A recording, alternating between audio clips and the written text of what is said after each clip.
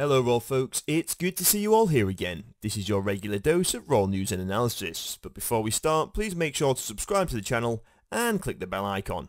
Thanks! Meghan Markle and Prince Harry cannot win their campaign against the royal family, suggests one royal commentator. Daniela Elser cited the Sussexes' failing popularity, as well as jokes made at their expense as evidence that the couple's PR campaign against the royals has backfired. Harry and his wife Meghan, the Duchess of Sussex, might have spent the last two years waging an exhausting never-ending battle of wits and PR strategy against the firm, but they have actually ended up on the losing side, claimed Miss Elser.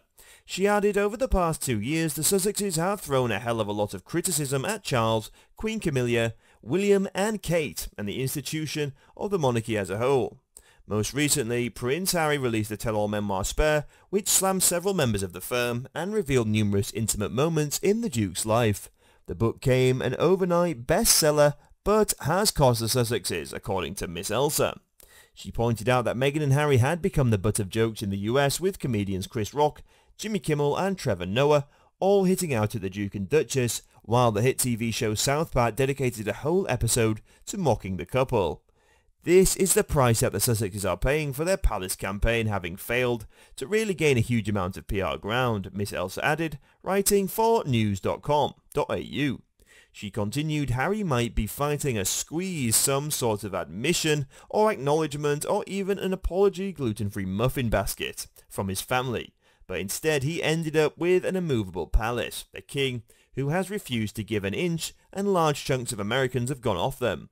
Polls show that the Duke and Duchess's popularity has fallen significantly in America since the release of Spare.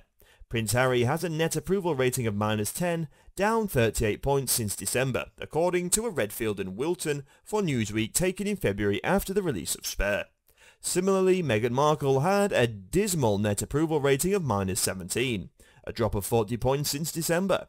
Harry cannot win the campaign. He has been waging against the royal family. Soz, Miss Elser quipped although she admitted that no one could be certain what would happen in the future, she said, right now, it certainly looks like the Duke and Duchess of Sussex are losing the power struggle with Charles. Meghan and Harry have been invited to King Charles's coronation, but it's unclear whether the Duke and Duchess will attend. The coronation will take place on May the 6th, but so far there has been no RSVP from the Sussexes. So what do you guys think about the news? Let us know in the comments and we'll see you next time for more Raw news and analysis.